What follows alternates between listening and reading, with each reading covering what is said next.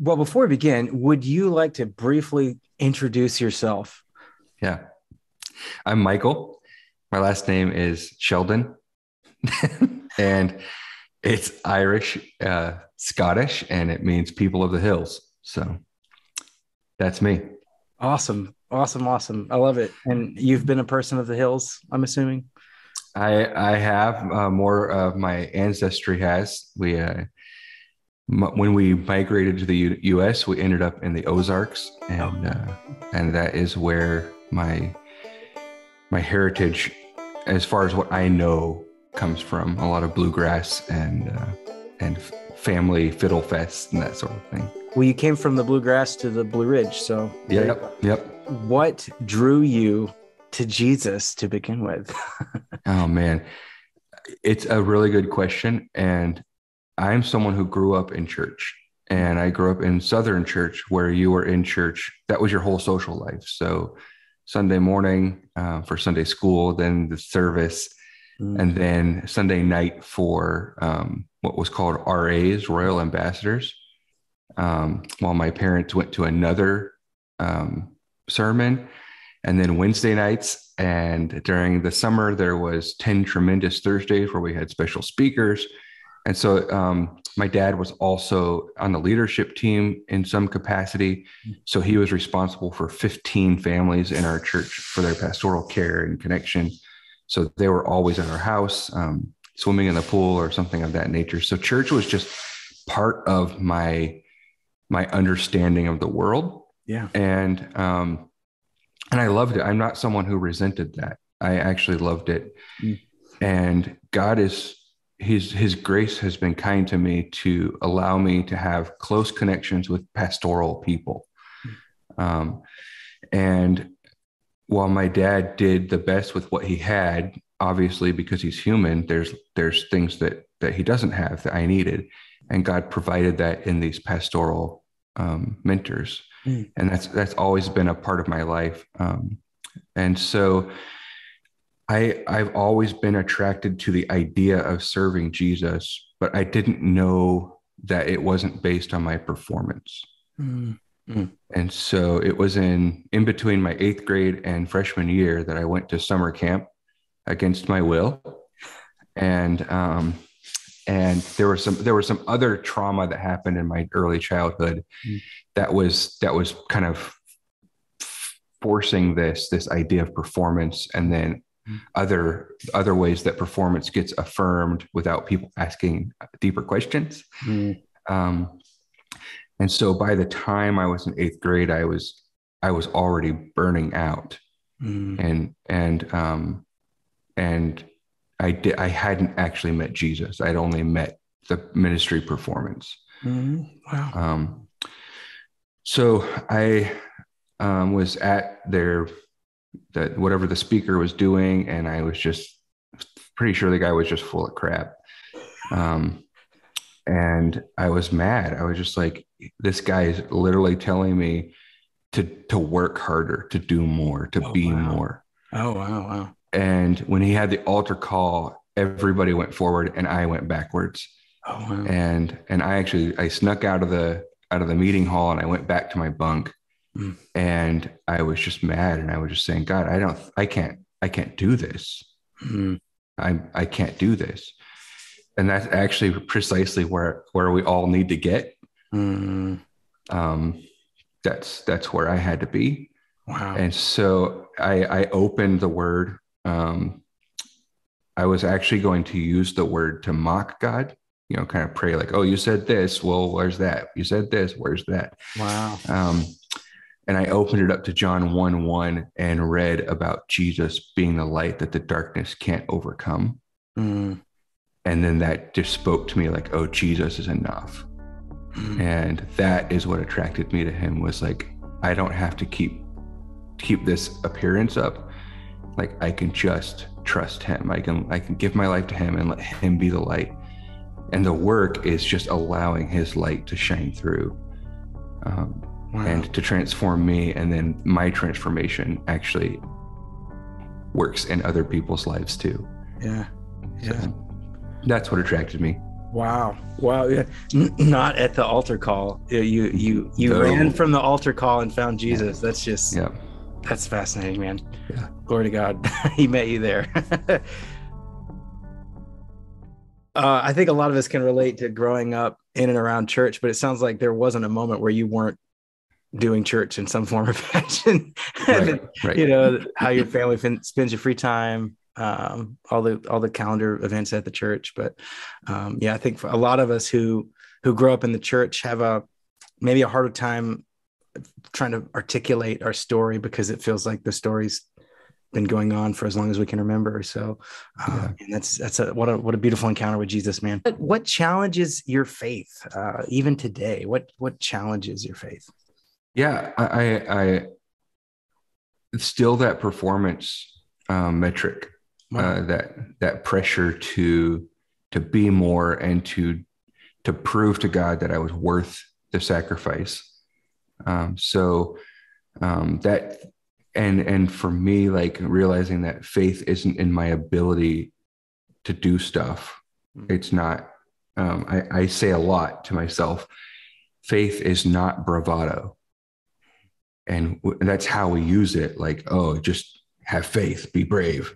Mm-hmm. And faith is not bravado. Faith is actually knowing where to put your trust. Wow yeah and and so it's if if faith is in my own ability to just get mm-hmm. through like that's a different character quality that's perseverance mm-hmm. um but faith is saying the god who saved me is still saving me mm-hmm. he's still sustaining me and because of that even though i'm scared even though i've i'm failed even though um i want a different outcome or I want to get out of where I'm at, like God is still big and he's still there. Mm. And so so faith is without faith in the proper thing, all that other stuff crumbles. So it's so, still it's still a challenge for you to oh man to not uh, have this sense of trying to earn it. Is that that that, that, that yes? I'm sure we can resonate with that. Um, yes yeah that, it's good to know this long on yeah. your walk that that's still you know something that you, yeah. you to remind yourself of well i think a lot of us have an internal dialog mm-hmm. Mm-hmm. and and my internal dialogue is is constantly telling me i'm either too much or not enough and so there's there's never a moment where you're just like god is enough. Mm. um and and so it's it's good in terms of faith for to be able to have the holy spirit to kind of refocus me when i say those things to myself like well maybe maybe you are too much sometimes. Maybe you're not enough sometimes but god's god's is. Mm. and um and that's the metric he's using that internal dialogue of negativity or imbalance it doesn't go away is uh, anytime soon? nope. Okay. Nope. Okay.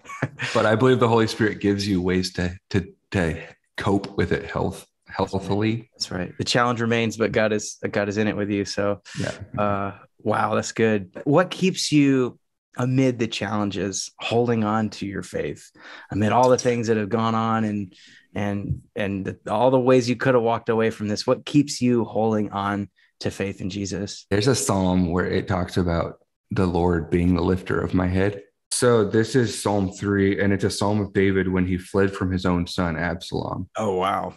So it's it's in the midst of trouble. Yeah. And uh and I'll just read out to the first Selah, um, second Salah, Selah. O Lord, how many are my foes? Many are rising against me. Many are saying of my soul, there is no salvation for him in God. Selah. But you, O Lord, are a shield about me, my glory and the lifter of my head. I cried aloud to the Lord, and he answered me from his holy hill. Selah. And I feel like, especially in the in the social climate and, and just the fact that everything seems to be chaos, um, to remember that um, it's it's almost like God is taking me as a child and he's saying, No, no, no, lift your head up, look at me. Mm. Look at me. Mm. And I want to look at all this other stuff. And he's like, no, look, look at me. But it reminds me of Peter when he steps out of the boat onto the stormy sea. Yeah, yeah. And the the, the challenge is to just keep. The challenge is not to walk on the water; it's to keep his eyes focused on Jesus. Mm. And because Jesus is the one enabling him to get through the stormy sea. Wow. Um, Jesus is his sure footing. And as soon as he takes his eyes off of Jesus, he loses his footing. So I feel like we're in a storm tossed world. And, and the challenge is to realize that our footing is not found in the earth beneath us, but in the God who created it. Wonderful. So that's that's one you tuck away in your heart. Yeah. Mid this. And and it's not just that, but there's also the reality that um, I deeply believe in in God's sovereignty within the community of the church. And and I know a lot of people, the church is their reason for um, questioning or doubting their faith. Mm. What they're what they're actually rejecting is is what the church has been. Mm. Um, and I don't want to deny or ignore that pain, but that has not been my story. Mm. Um, my story has been that that God has provided people in the context of church that have been this relentless pointing toward Jesus. Wow. Yeah. And um and so I I value that. I deeply value the church. Yeah. Faith, faith is a group project, isn't it? it is. It is. we, we need each other. Uh that's good, man. That's really good. If you were going to talk to, I don't know, 13, 16, 18 year old Mike Sheldon growing up in, in today's world. Um, what's some key advice that you would give to a young believer? Yeah. Yeah. What I wish I would have heard mm-hmm. as a 13 year old is every sphere of life is going to be demanding that you prove yourself, except for your relationship with God. That's not his demand. He's not asking you to prove yourself. He's not asking you to try and earn or gain anything. And so, even though there are relationships where that is the case, in, in Christ, He is enough, which makes you enough. And I wish I would have heard that. I don't know if I would have been able to hear it, even if someone would have told me. Yeah. Um, but I I would like that touchstone to look back on. Yeah. Um, and and so this this might be a touchstone for somebody who watches this video.